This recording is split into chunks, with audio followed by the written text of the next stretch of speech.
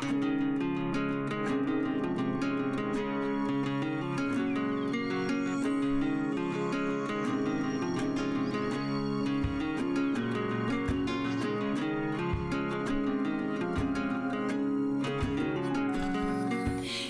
Crafty fam, it's Alex Vanover. and Welcome back to my craft room. In this tutorial, I'm gonna show you how to work with StarCraft Electrafoil.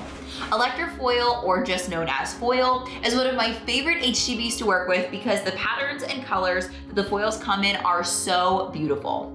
But a lot of crafters are intimidated by it because the foil is a two-step process, but it's not intimidating and it's not difficult to do, and I'm gonna prove that to you in this tutorial. So let's jump in and get started. So to get started with our foil project, the first step is to set up the file in Cricut Design Space for the Siser EasyWeed Adhesive HTV. This is the HTV that we're going to apply to the shirt before the foil, and the foil will only stick in the areas of the HTV. So I'm just gonna use this really fun file. It says kind vibes only and it looks super cute. I'm really excited about using this file because I'm gonna be using some of the patterned electrafoil. And so these thicker areas around the words are gonna show off that pattern really well. But the first step is to size the design for the size of shirt that I'm using. And I'm going to be putting this design on an adult large shirt. So I'm gonna make it 10 inches wide. And that makes it pretty tall as well. So I might make it a little bit smaller, maybe go like nine and a half. I don't like to go much smaller than that just because I don't want it to look shrunken on an adult shirt. So I'm gonna stick with this nine and a half inch wide so that it's about 11 inches high and we're good to go. So we'll click the green Make It button. And whenever you're working with the Siser EasyWeed Adhesive HTV, you're just going to work with it the way that you would work with any other heat transfer vinyl. So that means that I am going to mirror my design and then click Continue. And once the machine connects, next we can choose our cut setting. And on my Cricut Maker, I always use everyday iron on, just like I do for all the other typical HTVs like StarCraft Softflex, Siser EasyWeed, and all that kind of stuff. So this is going to work great. All right, I'm gonna hop over to my Cricut and cut the adhesive HTV, and then I'll see you guys over at my craft table. So next it's time to cut our Siser Easy Weed adhesive HTV. And I know that it can be a little bit confusing because this adhesive looks so clear. So you're gonna cut it just like normal heat transfer vinyl with the shiny side down. And that's of course the carrier sheet like it always is. So it's pretty obvious which side is glossy and when, which side is not. So you're gonna put that glossy or that shiny side down on the mat.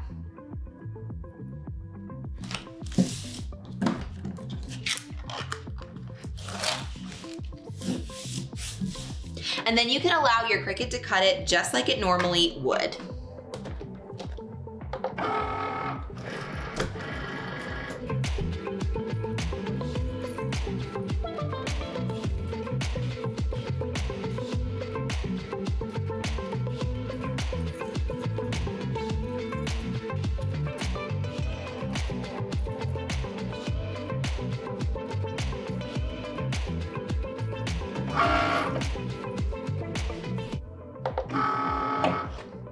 Next, it's time to weed our adhesive HTV.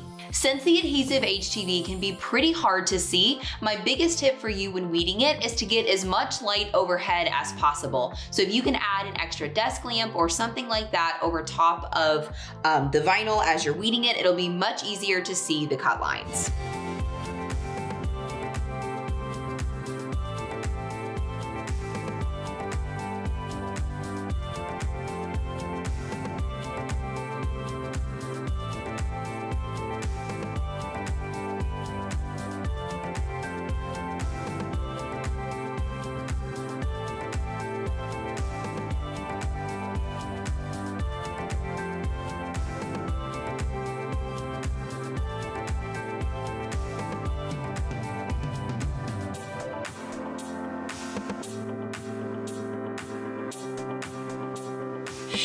There you have it. So now let's move over to my heat press so I can show you how to press the adhesive and the foil.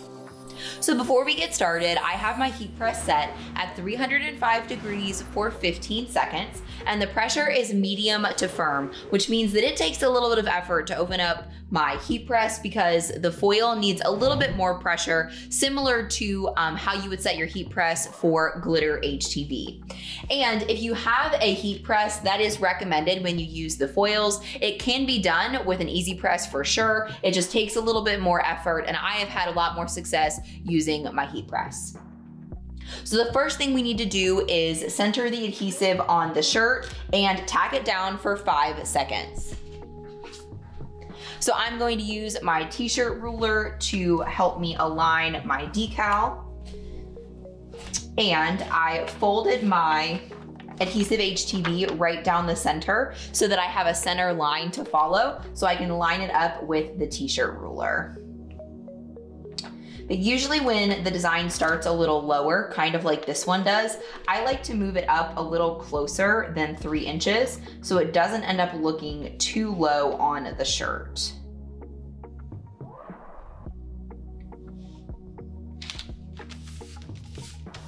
So we'll do something like that. I'll remove my ruler out of the way and then I'll move it so that all of the adhesive is on the heat press. And I also like to move the collar off the back of the press as well to make sure that the decal gets plenty of pressure. So I'll lower my heat press down and tack for five seconds.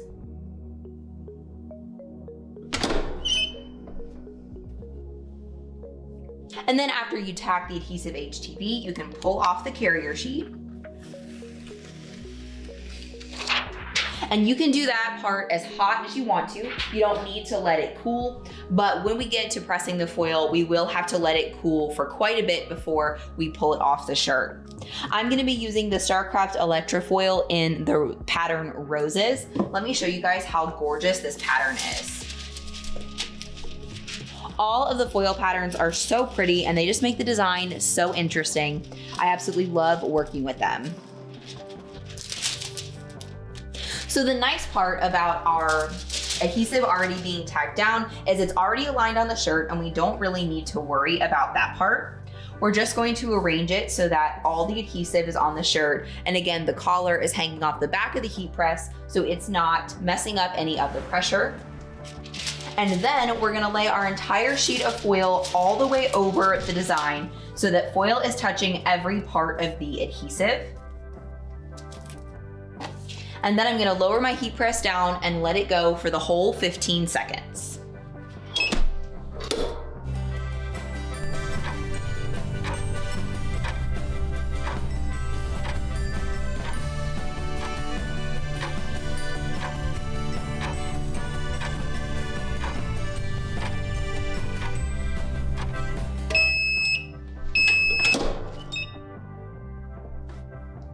And now we're good to go. Now, this is one of the most important rules to remember about working with electrafoil is that the foil must be absolutely completely cold before you pull it off of the shirt. Not cool, actually cold. So I recommend moving it away from the heat press, maybe even walking away from it for a few minutes so that you're not tempted. Because some of the problems that I see that are the most common is that the foil may have a little bit of a distressed look.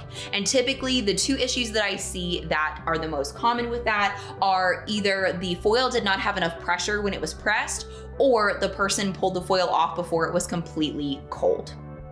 So I'm gonna set this aside and let it cool and then we'll peel it off together. So before I pull off my electrafoil and reveal my design to you, let's talk about a couple of different strategies for cooling down your foil a little bit faster. Because like I said, it literally has to be cool to the touch before you pull the foil off. And one strategy that I have found that works for me is after I think it's cool enough, I wait another couple of minutes just to make absolutely certain because I know we're all excited and we wanna see the results of our work. So a couple things you can do to cool your foil down a little bit faster are first to put your foil up against a wall or a window very gently. So the foil is definitely stuck on here after you do the final press. So if you gently put it up against some glass on a window or a wall, it's typically a little bit cooler than the room and it can help draw some of the heat out. Another strategy you can use is if you have a tile floor or a like granite countertop or some kind of stone, that usually tends to be a little bit cool as well. And you can lay your shirt over top of tile or something like granite, and that can help draw some of the heat out a little bit faster as well. So my final tip for you when peeling off your foil is that you need to rip it off like a band-aid. Do not be timid and do not go slow because that can distress your foil as well. You wanna totally rip it off quickly like a band-aid. So let's see how my shirt turned out. You guys, look how pretty that is. I love the pattern of the roses in this design because it's actually thick enough where you can see it. If you end up getting any areas around your edges like me that look like they're a little bit, um, I don't know, like there's still a little bit left hanging over, you can just kind of scratch it away with your nail because the foil is only going to stick in areas where there is adhesive. So if there's no adhesive that's not supposed to be there, it's not going to hurt anything for you to very gently remove it yourself. A really common question that I get about StarCraft Electrafoil is how does it hold up in the wash? And I have shirts that I have washed, I would say upwards of 50 times with StarCraft Electrafoil, and I have been wearing them for at this point, um, probably over three years, and they look absolutely perfect, just like the day they were pressed. So I love working with this stuff because not only is it beautiful, obviously, but it's super durable and not too hard to work with. If you decide to make anything using my tutorials, whether it's working with electrafoil or something else, and you share it out on Instagram, please use the hashtag DIYAlex so that I can see what you're crafting because that's one of my favorite things about what I get to do. And if you've made it this far in the video, then I really wanna get to know you on social media. So please search for me at DIY Alex Vanover on pretty much all major social media platforms, and I'll also put direct links to my profiles down in the description below. If you enjoyed this video and you wanna see more just like it, then be sure to subscribe to the DIY Alex YouTube channel and be sure to ring the bell so that you get notified every single time that I put out a new video every single week. But don't wait for next week's video. Be sure to check out this one next. Or if you wanna make your DIY dreams come true, be sure to check out this video. I know that you're gonna love it.